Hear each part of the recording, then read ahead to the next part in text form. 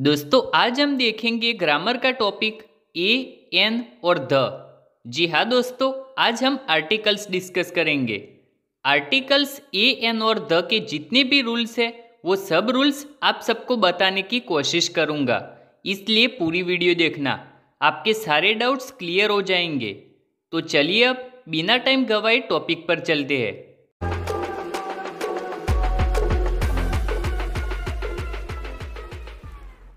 Article सीखने के लिए सबसे पहले हमें बेसिक चीज़ सीखनी पड़ेगी। ए बी सी डी में टोटल ट्वेंटी सिक्स अल्फ़ाबेट्स होते हैं दोस्तों।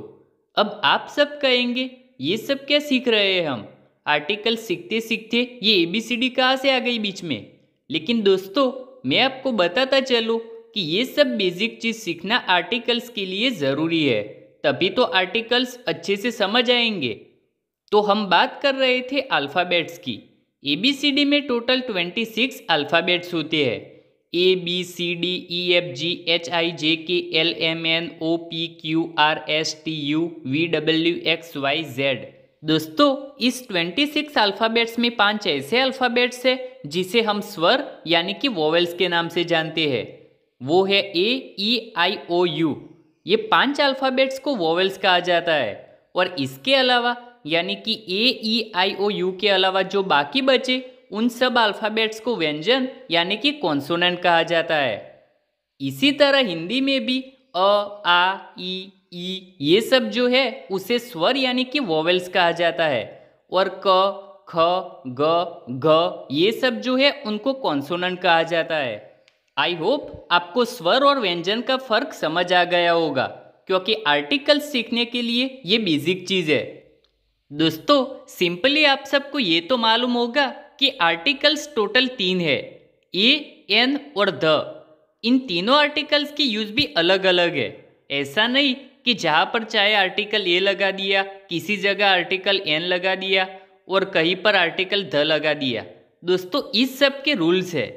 आर्टिकल्स के टू पार्ट है इनडेफिनेट आर्टिकल और डेफिनेट आर्टिकल यानी कि अनिश्चित आर्टिकल और निश्चित आर्टिकल दोस्तों आर्टिकल ए और आर्टिकल एन को अनिश्चित आर्टिकल कहा जाता है और आर्टिकल द को निश्चित आर्टिकल कहा जाता है। आर्टिकल ए और आर्टिकल एन को इसलिए अनिश्चित आर्टिकल कहा जाता है क्योंकि आमतौर पर ये जिस व्यक्ति या चीज़ के बारे में बात करते हैं, उसे अनिश्चित बना देते हैं। जैसे अ टीचर इसका मतलब कोई भी टीचर यहाँ कोई पर्टिकुलर टीचर की बात नहीं की गई, यानी कि अनिश्चित बात है। कोई फिक्स नहीं है कि यही टीचर। तो आर्टिकल ए और आर्टिकल एन को अनिश्चित, यानी कि इनडेफिनेट आर्टिकल कहा जाता है। और आर्टिकल द को इसलिए निश्चित आर्टिकल कहा जाता है क्योंकि वो कोई पर्टिकुलर व्यक्ति या पर्टिकुलर चीज़ की बात करता है। जैसे ही सो द टीचर यानी कि पर्टिकुलर टीचर की बात की गई है। फिक्स है, निश्चित है कि यही टीचर। तो आर्टिकल द निश्चित बात बताता है तो इसको डेफिनेट यानी कि निश्चित आर्टिकल कहा जाता है। इनडेफिनेट आर्टिकल ए और एन एक वचन नाम जिसे गिना जा सके उसके आगे यूज़ होता है। जैसे a book an orange a girl वगैरह। डेफिनेट आर्टिकल द एक वचन और बहुवचन जिसे गिना जा सके उस नाम के आगे यूज़ होता है। जैसे द बुक द बुक्स वगैरह। उसके अलावा जिसे गिना नहीं जा सकता, उसके आगे भी आर्टिकल द यूज़ होता है, जैसे द मिल्क वगैरह। अब दोस्तों आर्टिकल ए एन और द कहाँ कहाँ लगते हैं, ये देखेंगे हम। सबसे पहले आर्टिकल ए के बारे में देख लेते हैं। दोस्तों आर्टिकल ए और आर्टिकल एन साउंड पर से अलग किए जाते हैं, यानी कि हमें साउंड पर से पता चलता है कि कहाँ पर आर्टिकल ए आएगा और कहाँ पर आर्टिकल एन आएगा। आर्टिकल ए उस नाम के आगे लगता है कि जिस नाम के पहले अक्षर का प्रोनाउंस अ, आ, ई ई, यानी कि जो वोवेल से उससे शुरू होता ना हो। तो इसका मतलब ये हुआ कि अगर शब्द की स्टार्टिंग क, ख, ग ग, इन सब व्यंजन के प्रोनाउन से, यानी कि कॉन्सोनेंट के प्रोनाउन से होती हो तो उस शब्द के आगे आर्टिकल ए आएगा। दोस्तों, मैं आपको एग्ज़ाम्पल दे के समझाता हूँ, ताकि आपको अच्छे से समझ आ जाए। A boy a horse simply हमने इन दो वर्ड्स बॉय और हॉर्स के आगे आर्टिकल ए लगा दिया। हमने ये आर्टिकल ए क्यों लगाया, ये मैं आपको समझाता हूँ, ताकि आपके सारे डाउट्स क्लियर हो जाए और आपको अच्छे से समझ आ जाए। सबसे पहले इस वर्ड बॉय को देखो। जब हम इस वर्ड को बोलते हैं तो इसकी प्रोनाउंस होती है बॉय तो दोस्तों बॉय बोलने में जो पहला वर्ड यूज़ हुआ, वो ब है। अब ब व्यंजन है। यानी कि कॉन्सोनेंट है। तो मैंने आगे बताया, उस तरह अगर बोलने में किसी वर्ड की स्टार्टिंग कॉन्सोनेंट से होती हो तो उसके आगे आर्टिकल ए आएगा। उसी तरह ये दूसरा वर्ड हॉर्स देखो। जब हम इस वर्ड को बोलते हैं तो हॉर्स बोलेंगे। यानी कि प्रोनाउंस ह से स्टार्ट होगा। और दोस्तों, ह एक कॉन्सोनंट है तो उसके आगे भी आर्टिकल ए लगेगा। सिंपल शब्दों में कहे तो जिस वर्ड के प्रोनाउंस की स्टार्टिंग व्यंजन से यानी कि कॉन्सोनेंट से होती हो, उस वर्ड के आगे आर्टिकल ए आएगा। आई होप यहाँ तक क्लियर है। दोस्तों, अब देखते हैं आर्टिकल एन के बारे में। हमने अभी अभी देखा कि जिस वर्ड का प्रोनाउंस कॉन्सोनेंट से स्टार्ट होता हो, उस वर्ड के आगे आर्टिकल ए आएगा। तो इसमें कॉन्सोनेंट की जगह वॉवेल्स लगा लो अब। जिस वर्ड के प्रोनाउंस वॉवेल से स्टार्ट होती हो, उस वर्ड के आगे आर्टिकल एन आएगा। अब इसके एग्जाम्पल्स देख लेते हैं हम, ताकि आर्टिकल एन हमें अच्छे से समझ आ जाए।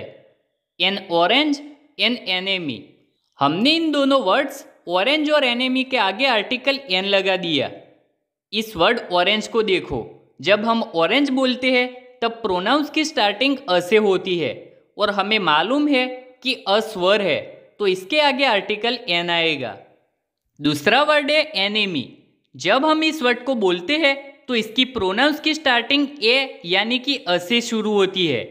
अब अ एक स्वर है तो इसके आगे भी आर्टिकल एन आएगा। आशा करता हूँ आपको आर्टिकल एन भी समझ आ गया होगा।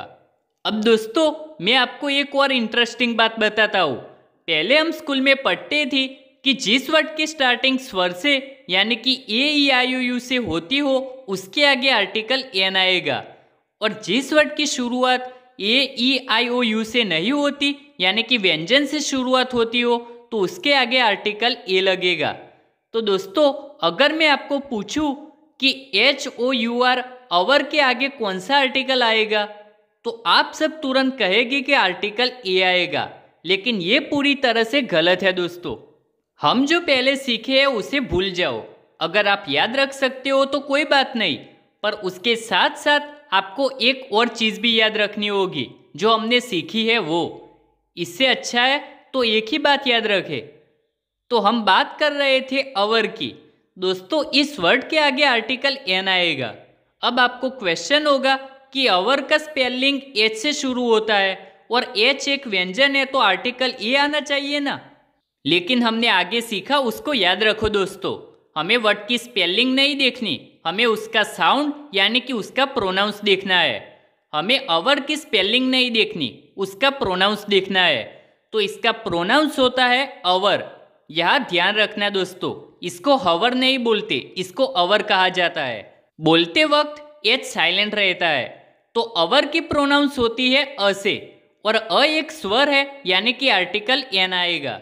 इंग्लिश में ऐसे दूसरे काफ़ी सारे वर्ड्स हैं, जैसे umbrella honest hour university union वगैरह। अम्ब्रेला का प्रोनाउंस स्टार्ट होता है अ से यानी कि उसके आगे आर्टिकल एन आएगा एन अम्ब्रेला ऑनेस्ट का प्रोनाउंस भी अ से शुरू होता है तो इसके आगे भी आर्टिकल एन आएगा एन ऑनेस्ट अवर का तो हमने अभी अभी देख लिया। दोस्तों, ये दोनों वर्ड लिखने में भले ही ऐसे लिखे जाते हैं, लेकिन जब हम उनका प्रोनाउंस करते हैं, तब एच साइलेंट हो जाता है। एच बोलने में नहीं आता।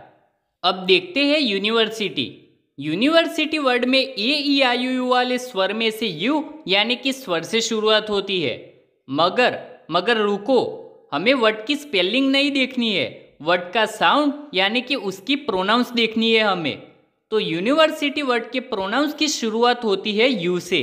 अब यू तो कोई स्वर नहीं है। यू एक व्यंजन है। तो इसके आगे लगेगा आर्टिकल ए, अ यूनिवर्सिटी। अगला वर्ड है यूनियन।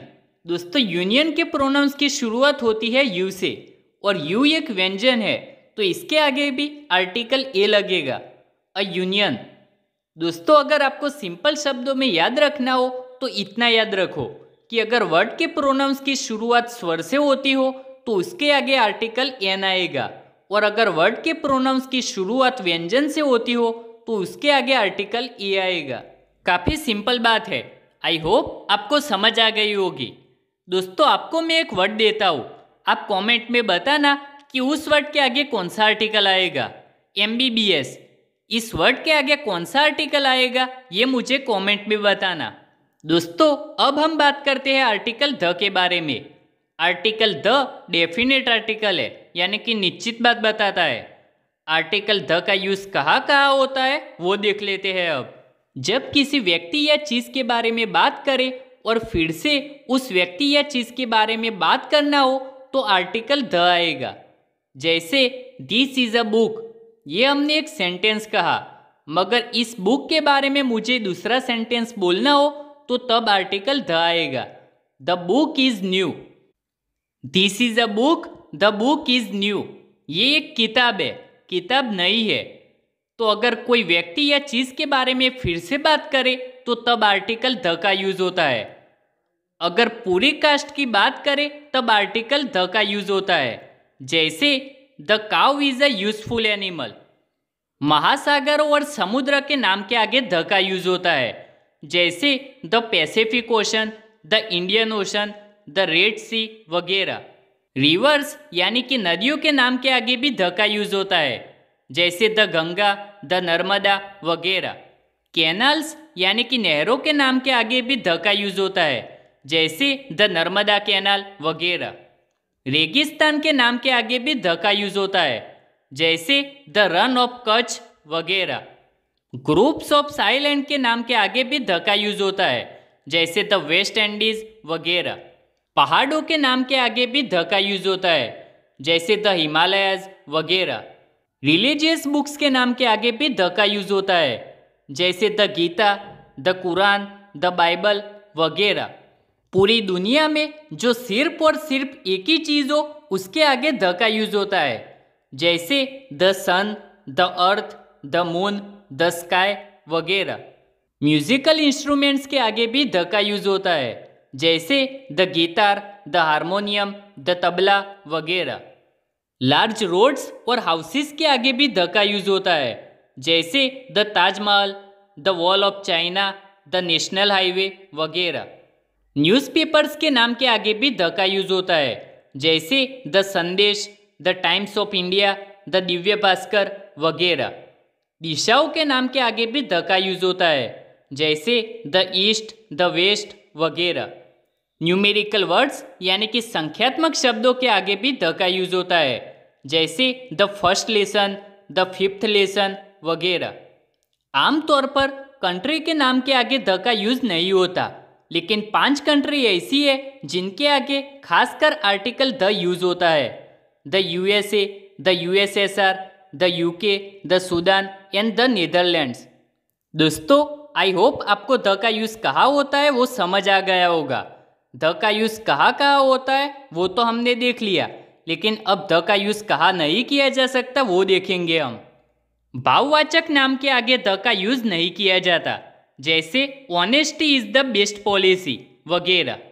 गेम्स के नाम के आगे भी द का यूज़ नहीं होता, जैसे आई प्ले द चेस ऐसा नहीं होता, सिर्फ़ आई प्ले चेस होता है। गेम्स के नाम के आगे द नहीं लगता। लैंग्वेजेस यानी कि भाषाओं के नाम के आगे द नहीं लगता। जैसे द इंग्लिश, द हिंदी, ऐसा नहीं होता। सिर्फ़ इंग्लिश, हिंदी, गुजराती, उर्दू इस तरह होता है। लैंग्वेजेस के नाम के आगे द नहीं लगता। कंट्री के नाम के आगे भी द नहीं लगता। जैसे द इंडिया, द चाइना, ये गलत है। सिर्फ़ इंडिया, चाइना इस तरह सही है। कंट्री के नाम के आगे द नहीं लगता। लेकिन दोस्तों, हमने पहले देखा कि पाँच कंट्री ऐसी है जिनके आगे आर्टिकल द यूज़ होता है। The USA, the USSR, the UK, the Sudan and the Netherlands. ये एक अपवाद है तो इसे याद रखना। School, college, church, hospital, market की मुलाकात कॉमन यानी कि सामान्य हो तब द का यूज़ नहीं होता। जैसे स्कूल का एग्ज़ाम्पल ले तो I go to school at eleven o'clock. दोस्तों, ये कॉमन बात है। मैं ग्यारह बजे स्कूल जाता हूँ, ये कोई स्पेशल बात नहीं। मैं रोज स्कूल जाता हूँ। तो अगर school college church hospital market की मुलाकात कॉमन यानी कि सामान्य हो, तब द का यूज़ नहीं होता। लेकिन ये स्कूल कॉलेज ये सब वर्ड्स का यूज़ सटीकता बताने के लिए किया गया हो, तब द का यूज़ होता है। जैसे the school is opposite to my house तो यहाँ सटीकता बताइए। कि स्कूल मेरे घर की विरुद्ध दिशा में है। यह परफेक्ट बात है कि स्कूल इसी जगह है ऐसा। तो अगर परफेक्ट बात बतानी हो तब द का यूज़ होता है। खास रिश्तेदारों के नाम के आगे द का यूज़ नहीं होता। जैसे, the father, the mother, the uncle ऐसा गलत है। सिर्फ़, फादर, मदर, अंकल ये सही है। खास रिश्तेदारों के नाम के आगे द का यूज़ नहीं होता। विशिष्ट पद होने वाले नाम के आगे द का यूज़ नहीं होता। जैसे, Mr Desai was made principal Mr Patel was elected chairman दोस्तों, ये दोनों सेंटेंस सही है। इस टाइप के विशिष्ट पद के नाम के आगे द यूज़ नहीं होता। Mr Desai was the made principal Mr Patel was elected the chairman ये गलत है दोस्तों। इस टाइप के नाम के आगे द का यूज़ नहीं होता। भगवान के नाम के आगे द का यूज़ नहीं होता। जैसे द गॉड, ये पूरी तरह से गलत है। सिर्फ़ गॉड ही होता है। भगवान के नाम के आगे द का यूज़ नहीं होता। लिक्विड के नाम के आगे भी द का यूज़ नहीं होता।